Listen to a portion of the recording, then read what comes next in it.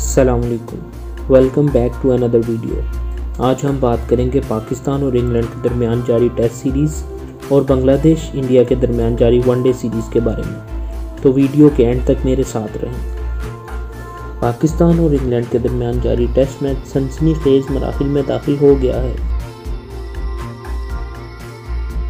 चौथे रोज़ के अख्ताम पर पाकिस्तान ने दूसरी इनिंग्स में तीन रन के ताकुब में दो विकेटों के नुकसान पर 80 रन बना लिए हैं। पाकिस्तान को इंग्लैंड को बछाड़ने के लिए तीन रन बनाना होंगे, जबकि इंग्लैंड को जीत के लिए आठ विकटें दरकार होंगी। इंग्लैंड की टीम ने पहली इनिंग में छः सौ सतावन रन बनाए थे। जवाब में पाकिस्तानी टीम पाँच सौ उनहत्तर रन पर ढेर हो गई। जिसके बाद इंग्लैंड की टीम ने दूसरी इनिंग्स का आगाज़ अठहत्तर रन की लीड से किया। इस बार इंग्लैंड टीम फिर जारहाना क्रिकेट खेलने मैदान में उतरी। मगर इस बार पाकिस्तानी टीम में भी लड़ने का जज्बा नज़र आया और नसीम शाह ने बैन डकेट को सिफर के स्कोर पर चलता किया। इंग्लैंड टीम ने ताबड़तोड़ बल्लेबाजी जारी रखी, लेकिन इस बार विकेट्स भी मुतवातिर तौर पर गिरती रहीं। चाय के वक्फे पर इंग्लैंड की टीम ने दलेराना फैसला करते हुए सात विकेटों के नुकसान पर दो सौ चौंसठ के स्कोर पर इनिंग्स डिक्लेयर कर दी और यूँ पाकिस्तान को जीत के लिए तीन रन का हदफ मिला।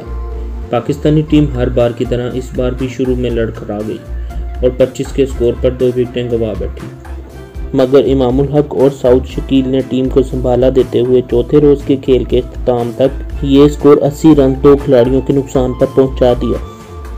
अब देखना यह है कि क्या पाकिस्तान ये टारगेट चेज कर पाएगा या इंग्लैंड का ये दलेराना फैसला इनको सीरीज़ में एक सिफर की बरतरी देगा। दूसरी जानब बात की जाए इंडिया और बांग्लादेश के दरमियान जारी वनडे सीरीज़ की, जहाँ इतवार के रोज़ पहले वनडे मैच में बांग्लादेश ने इंडिया को शिकस्त दे दी। मीरपुर, बांग्लादेश में खेले जाने वाले पहले वनडे मैच में बांग्लादेश ने टॉस जीत कर मेहमान इंडिया को बैटिंग की दावत दी और इंडियन टीम को एक सौ छियासी रन पर ढेर कर दिया। बांग्लादेश की जानब से शकीबुल हसन पाँच विकटें लेकर नुमाया रहे, जबकि इंडिया की जानब से के राहुल ने तिहत्तर रन स्कोर किए। जवाब में बांग्लादेश ने यह स्कोर नौ विकेटों के नुकसान पर छियालीसवें ओवर की आखिरी गेंद पर पूरा कर लिया। मेहदी हसन मिराज और मुस्तफ़िज़ुररहमान की आखिरी विकेट पर इक्यावन रन की पार्टनरशिप ने बांग्लादेशी टीम की डूबती हुई नाव को पार लगा दिया। 136 के स्कोर पर बांग्लादेश अपनी नौ विकेटें गवा बैठी, लेकिन इंडियन टीम आखिरी विकेट उड़ाने में नाकाम रही। और यूँ बांग्लादेश को तीन मैचों की सीरीज़ में एक सिफर की बढ़तरी हासिल हो गई है।